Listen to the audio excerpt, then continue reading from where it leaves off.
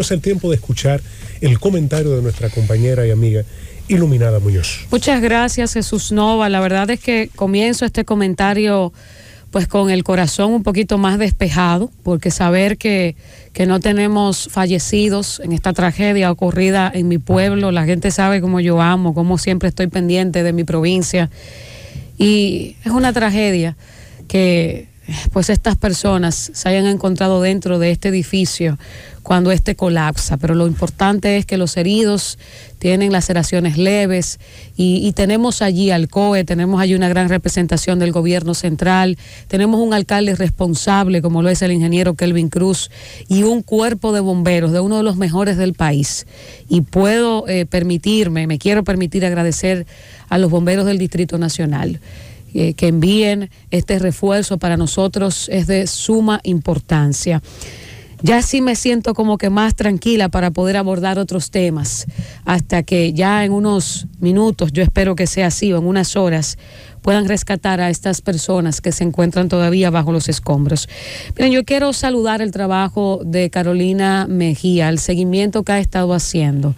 Ya en unos eh, un mes y medio se cumplen tres años de, de, todos los ayuntamientos, ¿verdad? De gestión de todos los ayuntamientos de República Dominicana. Y el que no hizo en tres años no va a ser en un año.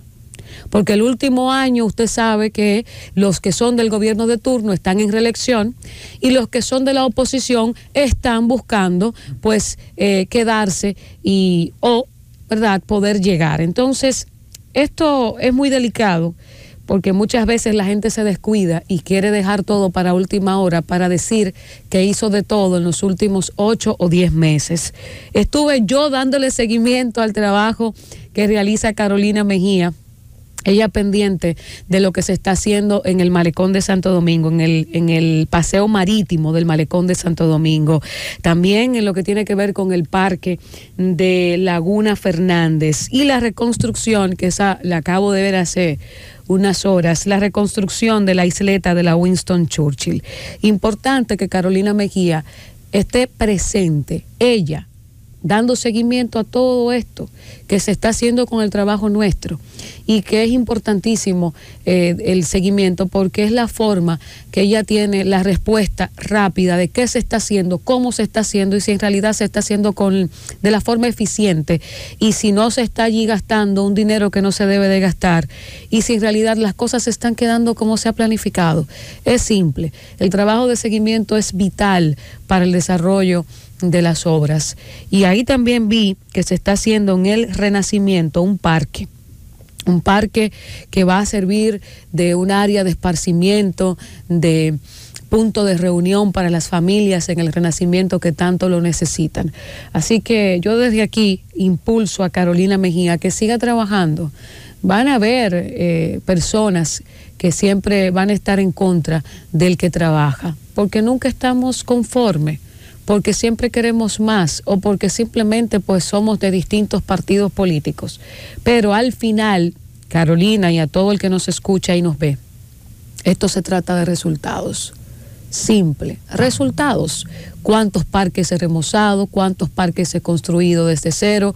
¿Cuánto he podido aportar desde la alcaldía hacia la República Dominicana, específicamente al Distrito Nacional? Miren, yo hoy quiero hacer un llamado a los hacedores de opinión y a los diferentes medios de República Dominicana. Tenemos que reflexionar, tenemos que sentarnos a ver nuestro trabajo y a leer nuestro trabajo.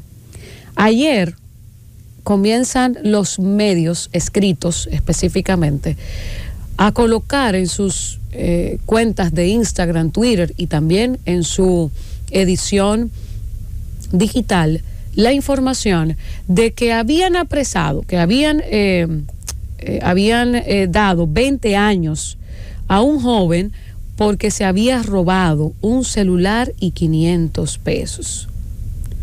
Condenan a 20 años a un joven que se roba un celular y 500 pesos.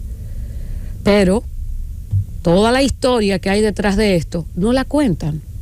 Ahí usted ve que comienza la gente, el ciudadano, el dominicano de a pie, como dice nuestro querido José Luis, siempre lo recuerdo con esa frase, hacerse eco de una verdad que está totalmente a medias. Es que ni siquiera llega a medias. Es que no es verdad que este joven fue condenado a 20 años por robar su celular y 500 pesos. Esto ocurrió en el 2021 en Asua. Y déjeme explicarle qué fue lo que sucedió. Este joven, el señor, esto sucedió en Padre Las Casas en Asua. Este joven, Jorge Luis de la Rosa, que es conocido como Wilma, escuche esto, como Wilma La Para, penetra la casa de esta joven en la madrugada cuando intenta robar el celular, ella lo reconoce, ellos tienen un manoteo y él logra huir y al otro día, en la mañana, él se aparece con un machete. Les repito, este señor, esto es lo que dice el documento legal, no se lo está inventando iluminada. A la 1.30 de la madrugada del 7 de noviembre del 2021, este hombre que fue condenado a 20 años penetró a la vivienda de Gisenia Cuello Rodríguez para sustraer el celular y los 500 pesos. Al otro día, a las 8.30 de la mañana, se aparece en la casa de Gisenia con un machete para golpear a Gisenia Cuello Rodríguez. No logró el objetivo, gracias a Dios, porque el hermano de la víctima, Santo Morillo Rodríguez, frustró sus intenciones, pero vamos a terminar de decir la información. En el medio del forcejeo y ese hermano cuidando a su hermana, le cercenaron dos dedos. Ese condenado a 20 años por el robo de ese celular y por lo que la gente dice que el robo del celular de los 500 pesos, usó el machete y le corta dos dedos al hermano de la dueña del celular.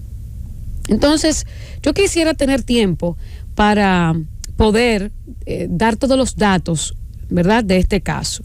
Pero de acuerdo con la acusación, la acción de Jorge Luis de la Rosa constituye violaciones a las normas contenidas en los artículos 379 y 382 del Código Penal Dominicano, que describe y sanciona el robo con violencia según la, sentencia evacuada por el Tribunal de la Cámara Penal del Distrito Judicial de Asua, el imputado también condenado, fue condenado al pago de una indemnización de 700 mil pesos para los querellantes constituidos en actores civil. Yo quisiera poder leer todo esto, pero a donde yo quiero, el mensaje que yo quiero enviar es, tenemos que revisarnos, porque estamos nosotros los medios de comunicación, los hacedores de opinión, fomentando a que el ciudadano de a pie que lee un titular sensacionalista repita medias verdades, repita este tipo de, eh, sensacionalismos, de tremendismos. No fue que el señor entró y se llevó un celular y 500 pesos y por esto le están dando 20 años. Ya hay un ser humano ahí que le faltan dos dedos y que gracias a su valentía no es el cuello de la dueña del celular que falta. Porque no es verdad que el que va a la casa de una persona con un machete va a dialogar. Entonces no podemos, medios de renombre, prensa escrita de este país que tiene 20, 30 años siendo líderes en información, prestarse para este tipo de, de charlatanería. Entonces el que nos comenta a nosotros o el que comenta a través de las redes sociales, por eso es que nos falta el respeto. Por eso es que habla mentiras. Por eso es que repiten medias verdades. ¿Cuál es la necesidad de un medio importante de República Dominicana que conté tres periódicos de aquí, de renombre, de los principales? Repetir ni siquiera una media verdad. El joven fue con un machete dispuesto a matar a esa mujer. Si hubo o no hubo una situación sentimental antes, después de, eso no está contemplado en el expediente. Lo que sí está claro es que al él no poder llevarse el celular y los 500 pesos al otro día, él llegó con un machete dispuesto a matar a esa mujer.